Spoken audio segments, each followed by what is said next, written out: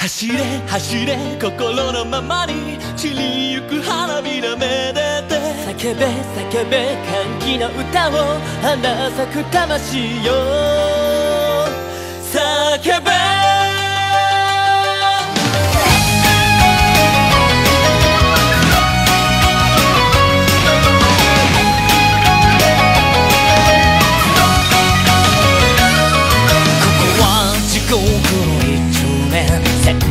番号よいよよ恥を恐れず突き進め金界事実なりてやれば負けても構わない。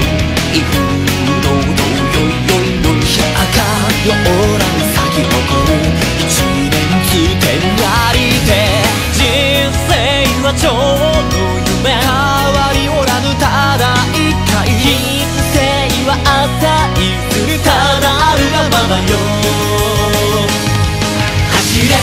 心のままに散りゆく花びらめ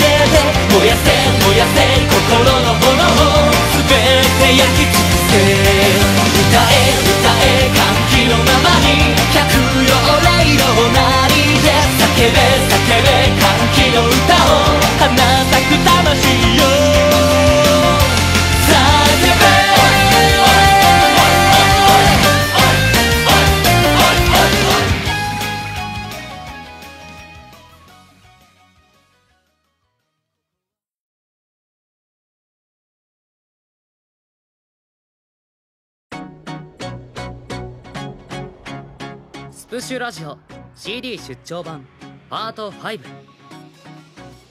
メーカースプラッシュ。スプラッシュの相川レイです。沖田直です。竹内秀也です。氷の妖精龍海士です。どうも映像串ぐしこです。三島俊介です。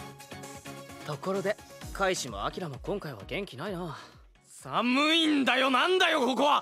なんでこんな氷の中でラジオやんなきゃなんねえんだよ。クリオネじゃねえんだからよ。ぐしこ南の生まれなのね。あんまり寒いの得意じゃないのね。はい皆さん。実は俺たち今北海道のとある湖の上にいます。湖ですが冬は全面凍結中。今回はそこに作ったアイスロッジの中からスプラジオをお送りしますちなみにここは氷の壁。氷のテーブル。氷の椅子。すべてが氷でできています。海士くんとアキラくんは2月の北海道を舐めてるでしょなんで普通のスニーカー履いてきたの？じゃあ何履いてくればよかったんだよセッタがスノーブーツだろ。マネージャーから注意されたじゃん。雪の中を歩くって。ぐしこ温かいラーメンが食べたいの。ここじゃラーメンが一瞬で冷やし中華になるわ。足がもげそうに冷たい。ケツが死にそう。そんなお前らに朗報です。スタッフさんが雪下ろし用のゴム長靴を貸してくれるって。猫旅だけじゃなくてラジオでもゴム長履けってか。それ温かい？温かいなら俺たとえティッシュの空き箱でも履くよ。お前ら靴に雪が染みて靴下も濡れてるんじゃないか？そうなの。しみしみ。こんなこともあろうかと。登山用の防寒靴下を余分に持ってきた。これに履き替えてゴム長を履け。ほら。ありがとう。さすが神様仏様三島様。返しも。ほら。V オッケー。ここで今日のゲストを紹介しよう。俺のストリート時代からのライバルそして親友。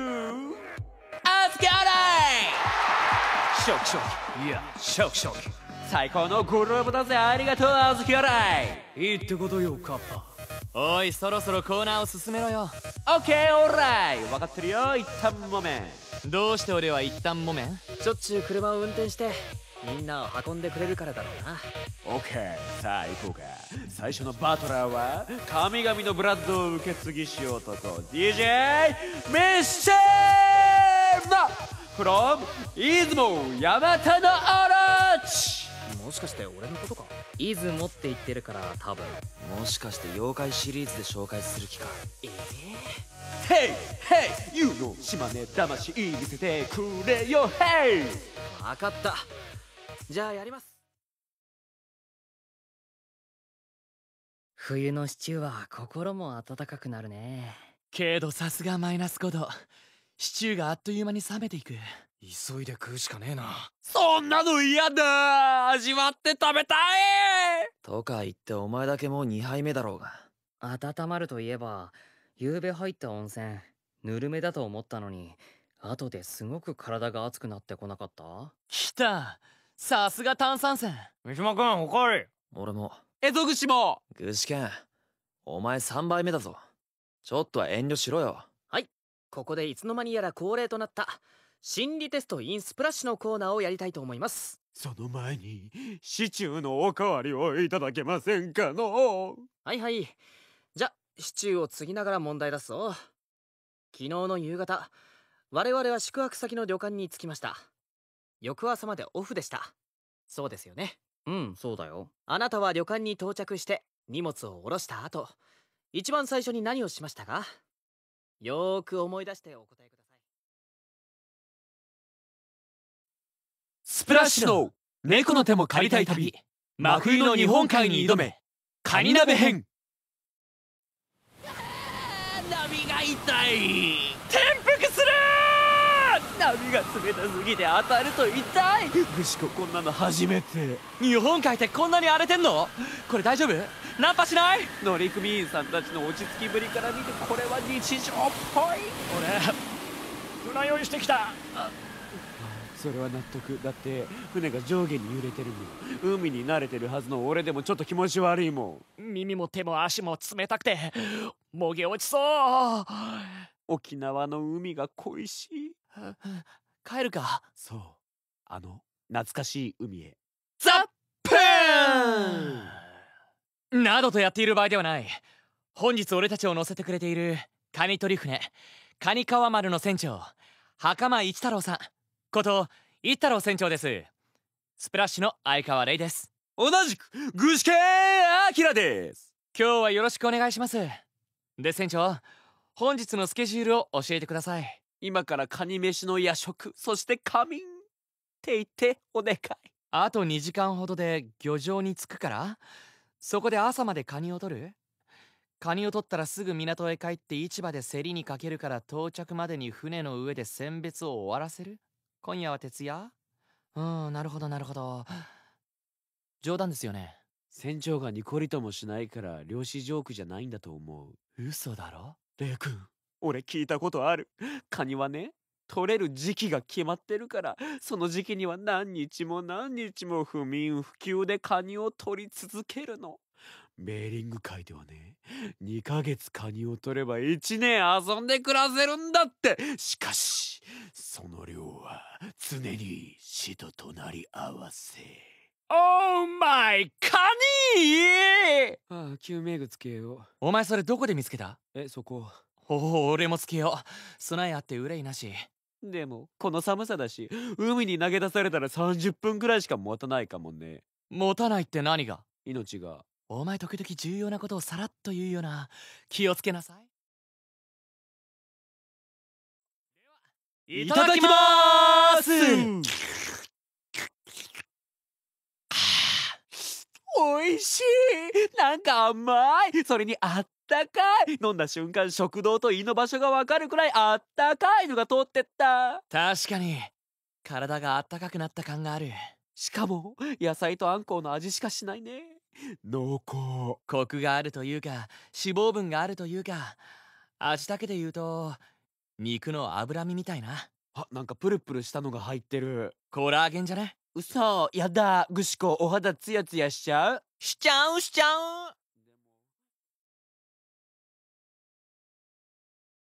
なあせっかくだし松葉ガニを6匹買ってあとは親ガニを3匹買ってっか。親ガニは小さいけど味は濃厚なんだって。了解カニ。値段どうする ?1 キロ2万円。行きたいけどまあ俺らの財力じゃ5000円かな。それでも東京で買えば倍以上の値段だろうし。それでも十分美味しそうカニ贅沢カニプラケースから好きなのを選べるらしいからアキラ取って。レイ君取らないカニお前さっき俺が言ってたこと聞いてた？でもこれバラエティーだカニ今回ちょっと絶叫量が足りないカニなんでだよ！さあ素手で取るカニいやいやせめて網でしょ。網使わせて。網じゃ意味ないカニほら腕貸してグーなあ冷たい。カニいるカニいるちゃんと選んでいいのを取るカニスプラッシュの猫の手も借りたい旅。茨城の平和を守れ。ボタン鍋編。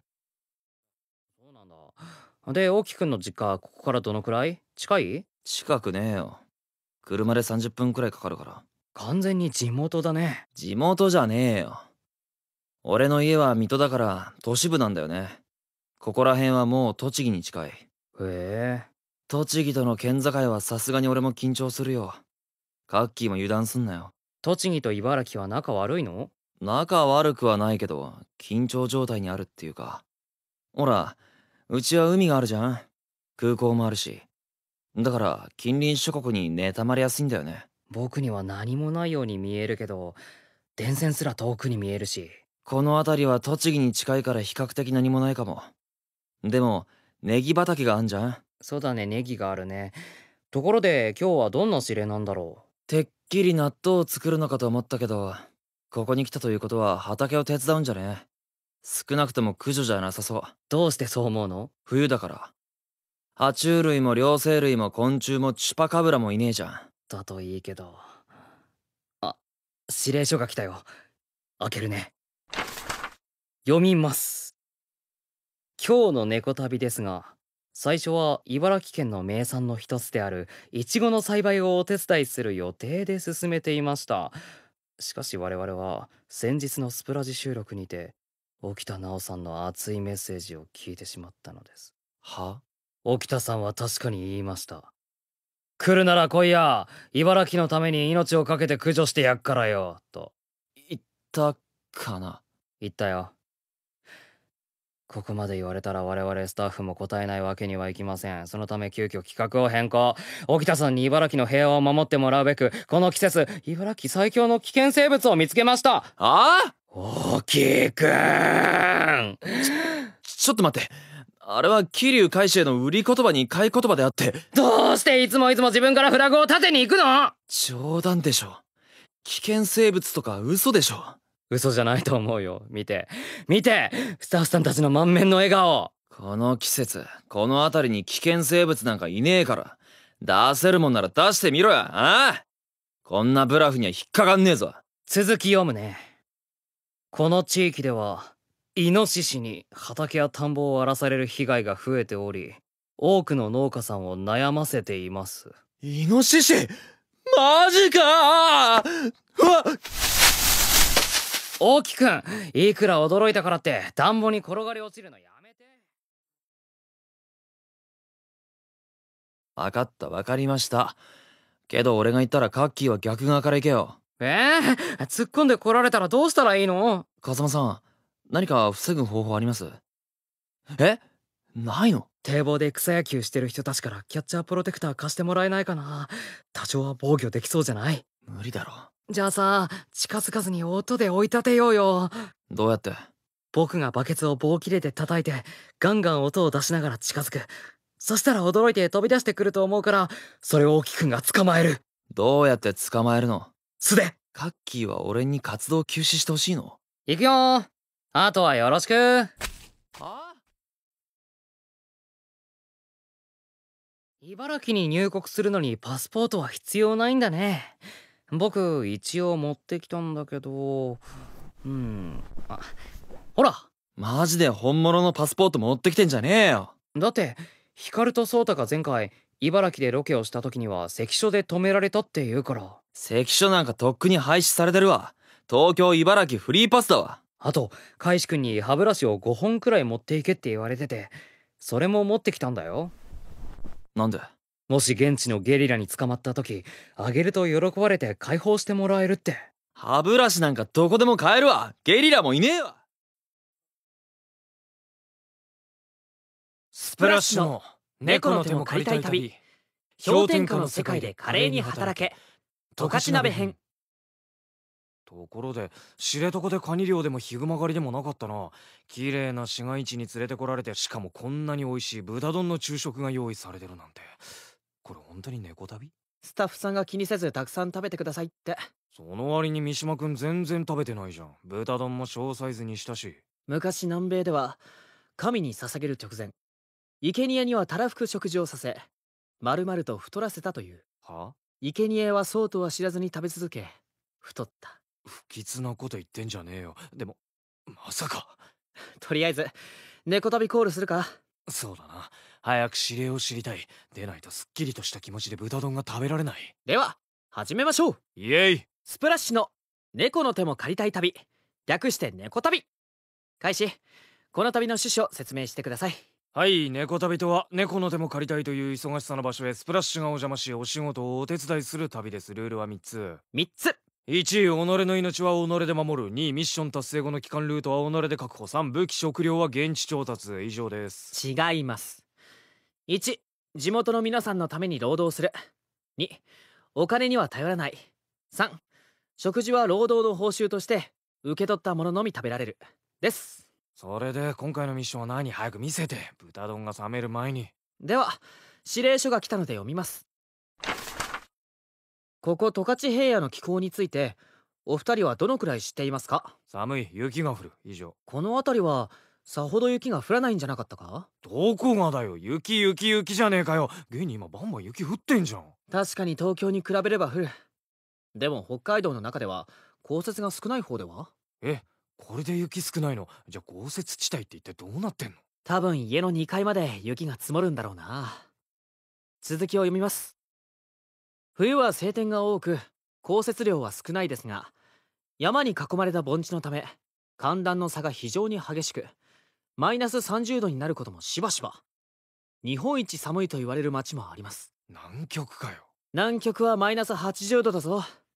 ロシアのサハ共和国は1月の平均気温がマイナス50度だし。俺生きてけない。今朝マイナス5度だか10度だかでも死にそうになってたのに。本日から明日にかけお二人にはボランティアとしてここで除雪その他の労働をしていただきます。なんでだよ。雪少ねえんだろ。雪は少ないけどものすごく寒いから雪を水で溶かすことができない分除雪が大変なんだよ。なんで溶かせねえの？気温がマイナス10度以下なんだぞ。溶かしたそばからすぐ凍るだろうが。いえ恐ろしい。じゃあ早速こちらのお宅の屋根と家の周りを除雪させてもらおう。この家か。おばあさんが一人で暮らしているそうだ。まずは玄関でご挨拶な。よし任せろおいババア雪かきに来てやったぞ。こらお前何言ってんだ。すみません。本当にすみません。俺たちボランティアの者でして家の周囲を雪かきさせてもらってもいいでしょうか。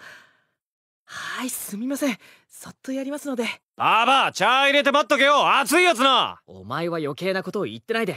玄関脇から雪をどけてけ。ロッセルラッセル。だから俺を押してくるなって。ほらスコップ持ってええええやりますよ。やりゃいいんでしょ？それにしてもくっそ寒いあ確かにぐっと気温が下がってきたな。あ今気温はあなんだよ。ー聞かない方がいいぞ。言えよ。15度。まああったかいってマイナスかよ。マイナス15度かよ。夜明け前が一番寒くなるっていうのは本当なんだな。あーくそ足先冷てえあ鼻水出てきた。俺もだわ。でもそれも凍りそうだわ。